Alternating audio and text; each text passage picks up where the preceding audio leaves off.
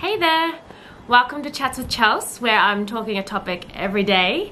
Uh, it's August 3rd, and today's topic is the unavoidable stage 4 lockdown that has just started in Melbourne. So, today is the first day of six weeks, and it's just such a blah feeling. I'm sure you're all feeling it.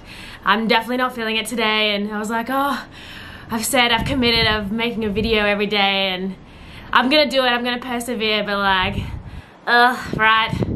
Monday, work whether you're working or not, working from home, like, yeah, just, just blah.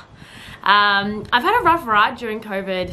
It started all from in February when um, I lost my new ongoing contract, which is unfortunate, and then my events and freelance work just ceased to exist. Uh, and now I'm working casually doing some shift work uh, in a factory. So 5 a.m. starts. Woo!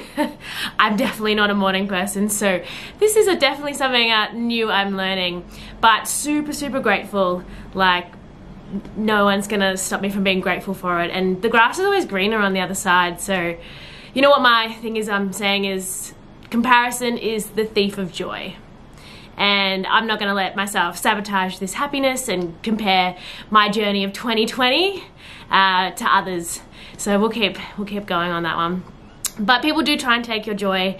I was just running around the lake just the other day and um, I gave plenty of social distance going around this man walking and as I was running past, it was a really good run uh, and he yelled out, um, stay the F away from me.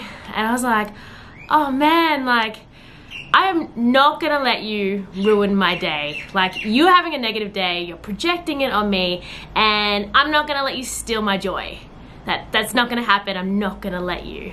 So that's what, that's what I'm going by. Don't let anyone steal your joy, because it's really, really precious at the moment. So stay positive, keep your joy, stay connected, look after others and check in. It's so, so important. And sprinkle kindness like confetti.